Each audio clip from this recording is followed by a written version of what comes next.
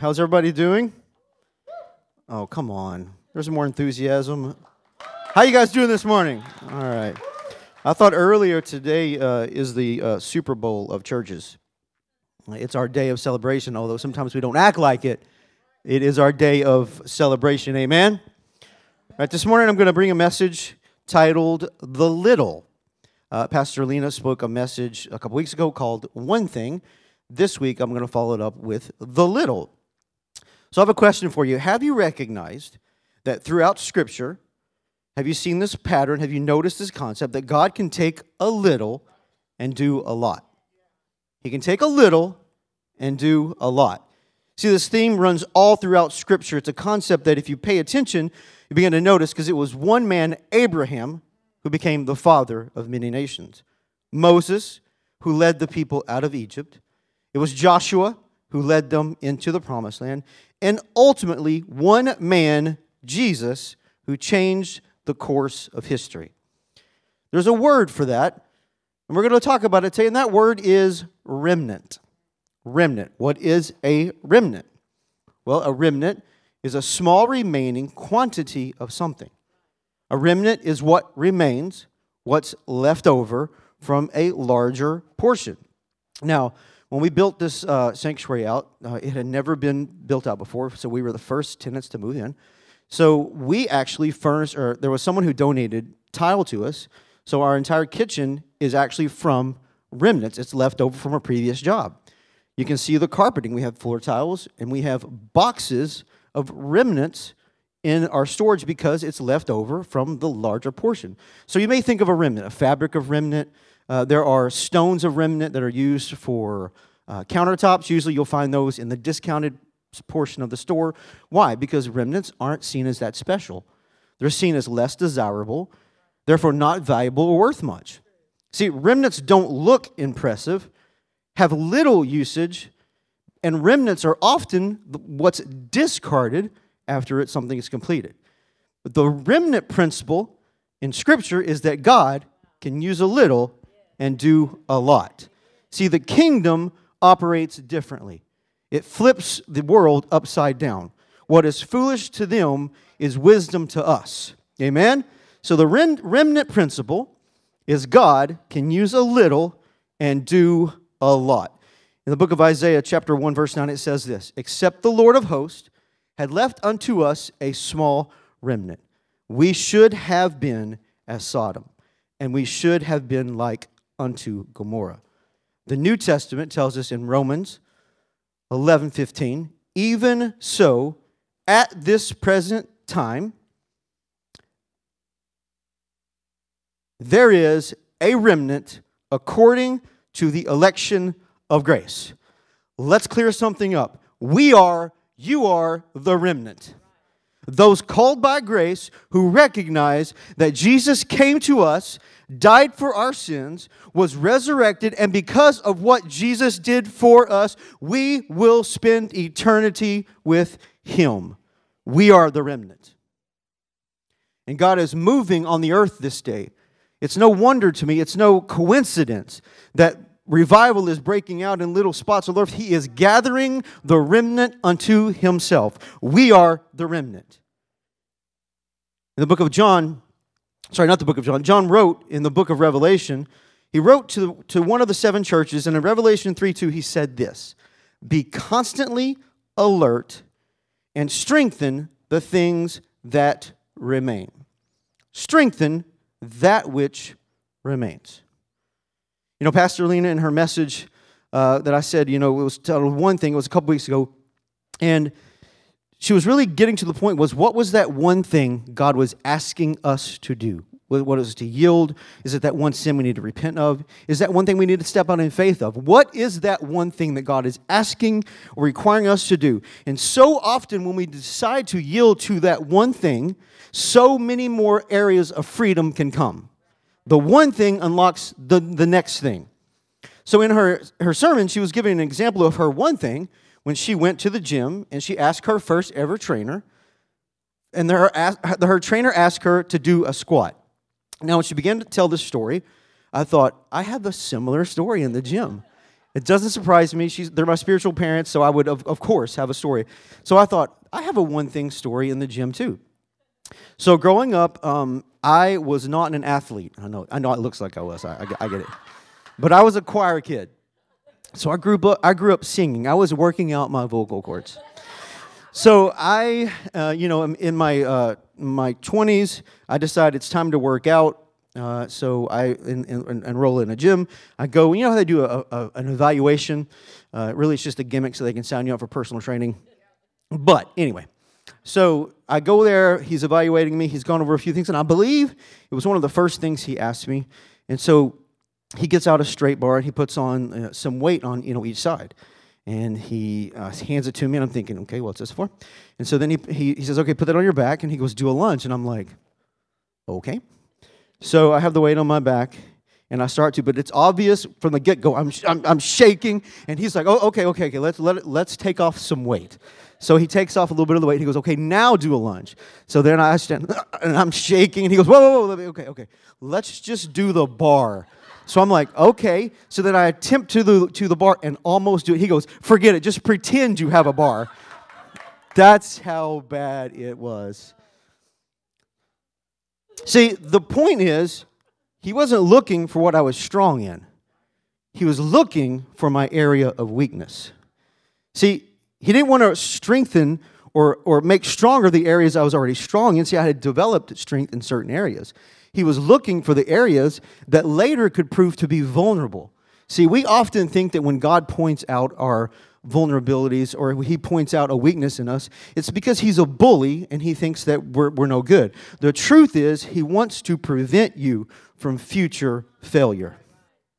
Strengthen what remains. See, the remnant is what remains. I want to look at just a couple passages of scripture. We're going to draw out of those things uh, just a couple stories of the little things to, to get that when we leave this place today. It's the little things that make the difference. So, in the book of 1 Kings 17, 1 Kings 17, Elijah has just prophesied that a severe drought and famine was coming. Why? Well, because of the sins, wickedness, and idol worship that was being committed by King Ahab, Queen Jezebel, and the Israelites. See, the people had essentially rejected God. But during this time of famine, see, he still provided. So God is providing for Elijah by leading him to places of resource. So here in 1 Kings 17, God has instructed Elijah to go to a widow. He says, There she will provide for you. So let's look at 1 Kings 17, chapter 10 through 12. 1 Kings 17, 10 through 12. Today we're going to go through quite a bit of, of uh, scripture, but I want you guys to see it so you can get it. Are we there? 1 Kings 17, 10 and 12. I know the screen is there. You, are you there on your Bibles, those that have a Bible? The analog version? All right. Verse 10 So he arose and went to Zarephath, and when he came to the entrance of the city, behold, a widow was there gathering sticks. And he called to her and said, Please give me a little water in a cup so that I may drink. As she was going to get it, he called her and said, Please bring me a piece of bread in your hand. She replies, As surely as the Lord your God lives, I don't have any bread, only a handful of flour in a jar and a little olive oil in a jug. I am gathering a few sticks to take home and make a meal for myself and my son that we may eat it and die. But Elijah instructs her that if she does this, that God will make sure her supply doesn't run out.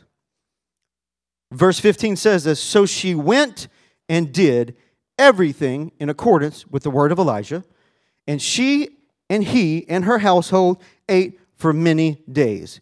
She went and she did. Most of the times we went and we don't.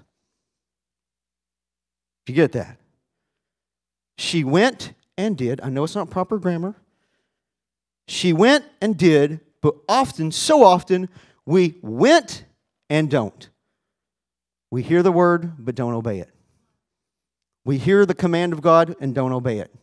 See, if she ha- what would the outcome have been if she would have chosen to not submit to what the Lord had said. But she, in obedience to God, believed the word of Elijah, and because of the believing, she were sustained, her and her family. So she went and did. Can we be a people that went and did? Come on, can we be a people who went and did what God said to do? Uh, there's tons of times in my life where I've heard God, but did I do it? The answer is no. I'm not a fool to stand up here and say that every time I've heard God say something, I've done it. But see, we need to practice the art of obedience and yielding. Can we just yield to His way and not it be our way all the time? And so we need to win and did, not win and don't. So the widow gathers the little ingredients she has. It's literally all that remained a remnant. See, she didn't realize that by her act of obedience and what little remains and what little she had was about to bring her from death to life. She's about to die, but because she obeyed God, she went from apparent death to life. Are you guys with me this morning? From death to life. See, in God's economy, a handful and a little can sustain you. See, when all you have is a little, but what little you do have, you offer to God. He will take your obedience, He will bless it, He will multiply it, and He will sustain you. I want to look at when Jesus fed the 5,000. I'm going to be reading out of Mark chapter 6, verse 33 through 38. Feeding the 5,000, Mark chapter 6, verse 33 through 38. We'll start. The people saw them going, and many recognized them and ran there together on foot from all the cities and got there ahead of them. When Jesus went ashore, he saw a large crowd, and he felt compassion for them because they were like sheep without a shepherd. I many remember me preaching Psalms 23 a few weeks ago? And he began to teach them with many things. And when it was already late, his disciples came to him and said, This place is secluded and it's already late. Basically, they were saying, Jesus, you've been teaching a long time. We are tired. We are hungry. Where can we go? So, so his disciples came up to him, probably because the people were complaining, and said, This place is secluded and it is already late. Send them away so that they may go into the surrounding countryside and villages and buy themselves something to eat. But he answered them, You give them something to eat. And they said to him, Shall we go and spend 200 denarii on bread and give it to them to eat? But he said to them, How many loaves do you have? Go look. And when they found out, they said, Five and two fish. I want you to notice what, they, what the disciples are saying there. Send them away so that they may purchase. That they may purchase for themselves something to eat. But Jesus responds because he's getting ready. Everything's pointing to the cross that no, there is a price to pay, but you nor them can purchase this. I am the purchase price. He is the purchase price. I want to do just a little background to this. John 6, 9 through 13 says this. This is a little bit of the, of, of, of the context around what I just read. Verse 9 through 13. There is a boy here who has five barley loaves and two fish. But what are these for so many people? Jesus said, Have the people recline to eat. Now there was plenty of grass in the place, so the men reclined, about 5,000 in number. Jesus then took the loaves, and after giving thanks, he distributed them to those who were reclining. Likewise, also of the fish, as much as they wanted. And when they had eaten their fill, he said to his disciples, Gather up the leftover pieces, so that nothing will be lost. Verse 13 So they gathered them up and filled 12 baskets with pieces from the five barley loaves, which were left over by those who had eaten. You remember my last sermon, the shepherd's call that I just mentioned? It was out of Psalms 23. And note what we just read. He calls them to recline first. What does Psalms 23 say? I will, I will cause them to lie down in green pastures. And then he fed them. I also learned that that's just a part of Passover is you must recline to eat. So this is at the time of Passover, so that's what's going on here. See, Jesus provided extravagantly from a remnant five loaves, two fish. See, out of little, or what remained, he stewarded great abundance. See, if he can trust you in the little, then he can trust you to handle in abundance. Luke 16:10 says this, "The one who is faithful in a very little thing is also faithful in much." And the one on the opposite side, the one who is unrighteous in a very little thing, is also unrighteous in much. But Jesus says, Bring them here to me. When you bring Jesus the little, the seemingly small portion or the pieces you have, nothing is impossible with God. See, I, for one, can identify, I never thought I had enough to bring to God. I thought I was too broken. I didn't think I had enough. I would look around and I would see the amazing people who were gifted, talented, could preach like no other. I always compared myself to other. I never thought I would measure up. See, I didn't think I had enough to offer God. I was riddled with shame and guilt, condemnation. See, I felt I was too broken for him to do anything with. And finally, when I saw that if I offered him all that I am, he will take it and multiply it. See, he takes the willing and makes them able. Come on, he uses the foolish things to confound the wise, and I'm okay with being foolish. See, he wants to bring us to a place of wholeness. See, the world, the naysayers, the scoffs, the critics, the religious, that's preposterous. What, what are you going to do with that little, a few pieces of bread and a couple of fish? That little bit, that's not going to provide for anyone. It will do nothing. How are you going to feed all those people? How are you going to reach that many people? How is Little Epicenter Church going to impact Fort Bend County with a revival? Because we're going to offer with what little we have unto Him, and He will bless it and He will multiply it. Come on, He will bless it and He will multiply it. See, you're not delusional in this place. The world says that you're delusional. The world says that you're just a remnant. But, the, but God calls the remnant His, and He will raise you and elevate you to a place if we just yield our lives to Him. Jesus said to them, Bring me the remnant. When you're a part of the remnant, it's not an easy place to be. You're largely rejected, face persecution, and deemed unnecessary, worthy of being thrown in the garbage. Remnants are normally discounted, but God doesn't discount us. When we offer what we have, even in the little, just offer it to him. Faith is a marker of the remnant. Matthew 17 20 says this He said unto them, Because of your meager faith, because of your little faith, for truly I say to you, if you have faith the size of a mustard seed, you will say to this mountain, Move from here to there, and it will move. And nothing will be impossible for you. Now, I'm a bit of a farmer myself. Lately, I've been sprouting broccoli sprouts. And I joke that they're my children because you have to wash them twice a day. You have to make sure they don't dry up. And so I've been doing this the last couple months. And so this morning, I brought a broccoli seed. Now, you probably can't see it, and that's the point. You don't see faith, you see the fruit of faith. See, I, I looked this up. A broccoli seed is very close in size to a mustard seed. So, can you imagine? God says, This is the amount of faith you need, and nothing shall be impossible for you. You want tips on broccoli sprouting? Just ask me after service. I'm real good at it now. Another marker of the remnant is there is no compromise. 1 Kings 19 18 says this Yet I will leave 7,000 in Israel, all the knees that have not bowed to Baal, and every mouth that has not kissed him. That yet I will leave means be left over to remain. There was a remnant that Elijah thought he was the only one left, but God said, Look out, I've got 7,000 people who have not compromised their life. You are not alone. There's a lot of times when we feel like we're the only ones pressing in.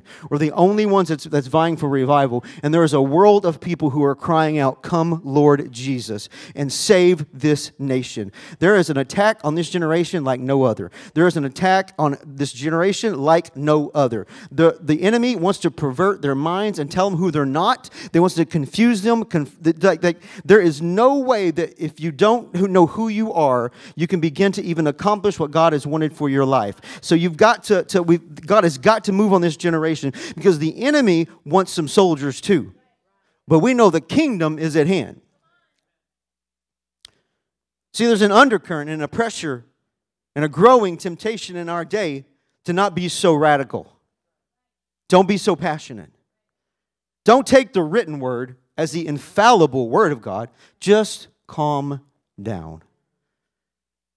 Just calm down. Don't, don't be so passionate. Why do you have to be so loud? Why do you have to pray so long? Why do you have to go so many services? Why isn't your service just an hour like the other churches? Why do you have to go two hours? Just calm down.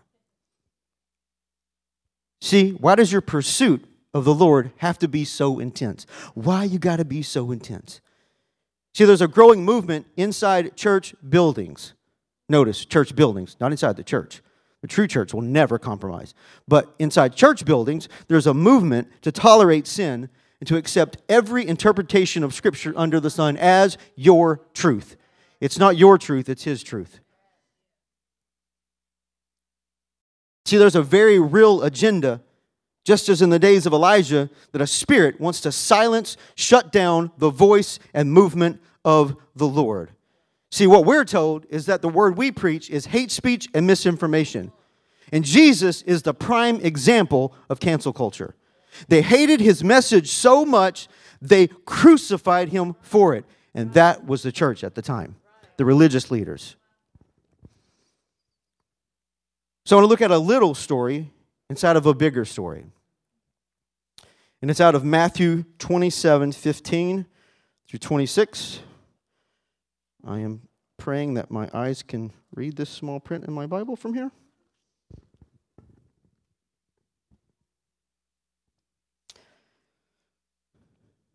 Ready? Ready? All right. Now at the feast, the governor was, a, was accustomed to release for the people any one prisoner whom they wanted. And at that time, they were holding a notorious prisoner called Barabbas.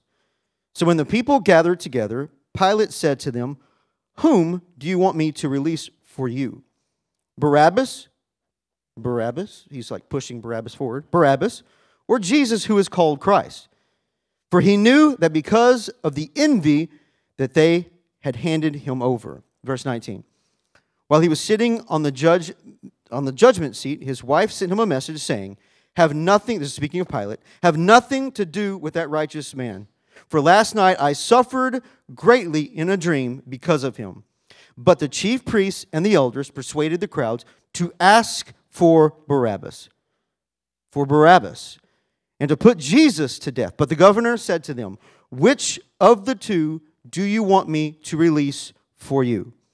And they cried out, Barabbas. Pilate said to them, Then what shall I do with Jesus who is called Christ? They all said, Crucify him. And he said, Why? What evil has he done? But they kept shouting all the more, saying, Crucify him. It's just a little story inside of a greater story of the Passion, what we call the Passion. I grew up in Arkansas. And there was a small town, and now I can't remember the name of the something Springs, Eureka Springs. That was it. Eureka Springs. That was called the Passion Play and they would do the, the, the, story of Jesus on his way to the cross. And so there's just a little story that most of us overlook about Barabbas. See, Barabbas was a thief, an insurrectionist, a murderer. He was serving on death row for his crimes that he had committed against the government. Barabbas was not a stranger to this life. Matthew, in fact, calls him a notorious prisoner. He's a repeat offender. He's a repeat offender. Let me get that right.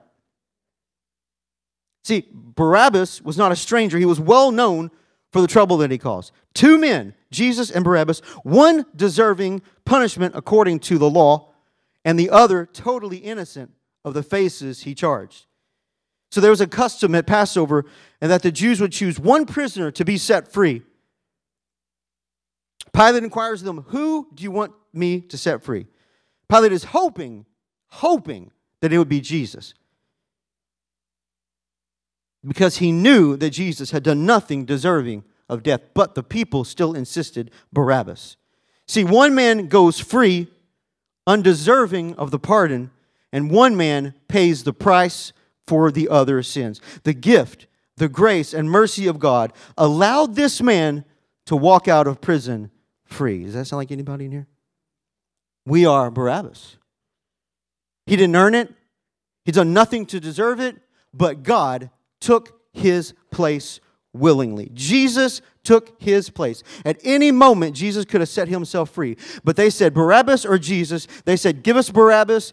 And Jesus took his place on the cross. Barabbas, picture this, walks out free, his hands unshackled, his feet unfettered, and he walks out of that prison a free man. Is anyone picking up what I'm laying down? We don't know if Barabbas was even grateful, but Jesus did it anyway. The love of the Father spared the life of Barabbas. Romans 5 8. But God demonstrates his own love towards us in that while we were sinners, Yet Christ died for us. Yet, while we were still Barabbas, he died for us. Sinful, full of guilt and shame. Yet he chose to go on the cross for us.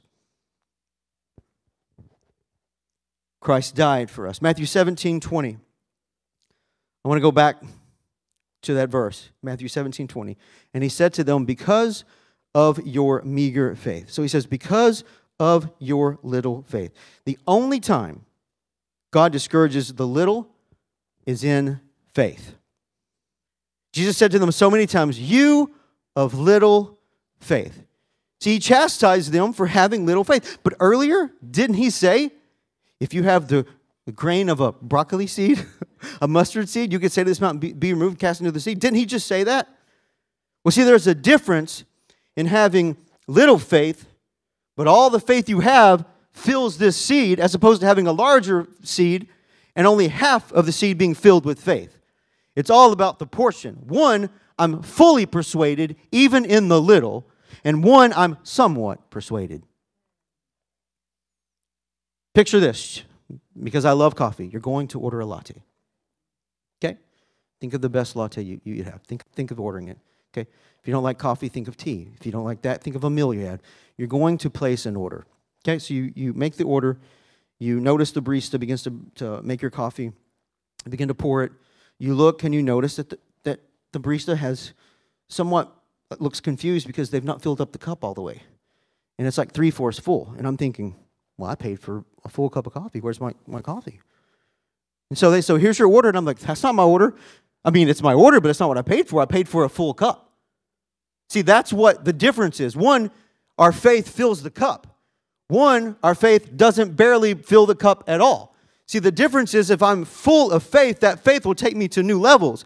But if I doubt in my faith, I can't accomplish much. Faith is the currency of heaven. You just got to fill the cup.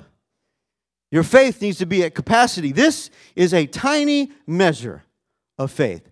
But if you fill this, there is nothing that is impossible for you with God. Nothing. The little things, the little things. Just a little bit of faith goes a long way. So I'm going to end with this John chapter 6, verse 12 through 13. And when they had eaten their fill, he said to his disciples, Gather up the leftover pieces, so that nothing will be lost. So they gathered them up and filled 12 baskets with pieces from the five barley. When does five equal 12? I don't know, it's God's math. So they filled up the 12 baskets just from five barley loaves that were left over by those who had eaten. See, the enemy will tell you that what you have isn't enough. It's too small, you're too broken, it's just pieces. It's not enough to do anything, it's not enough to make a change. There's no value in what you have, there's no value in what you offer. you are just a remnant of what someone else could do.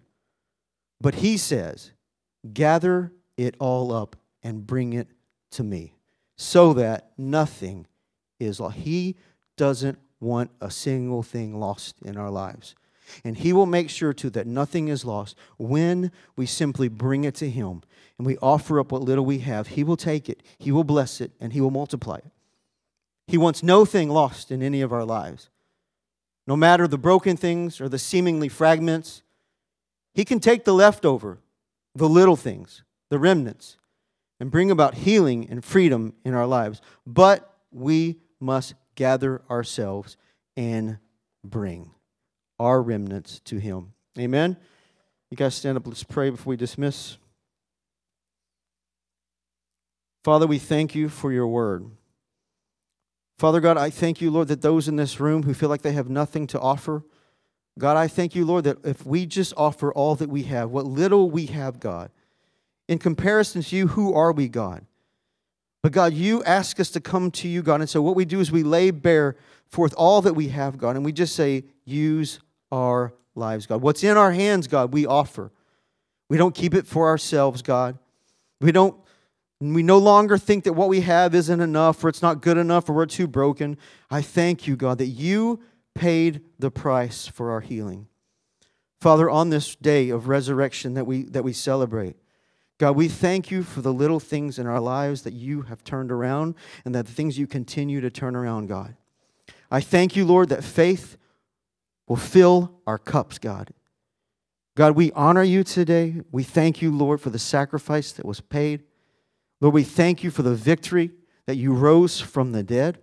And God, I thank you, God, that you are healing the nations. And so I thank you, Lord, for the remnant, even in this room, God. May it grow even stronger. May we strengthen that which remains. In Jesus' name I pray. And I say, Amen.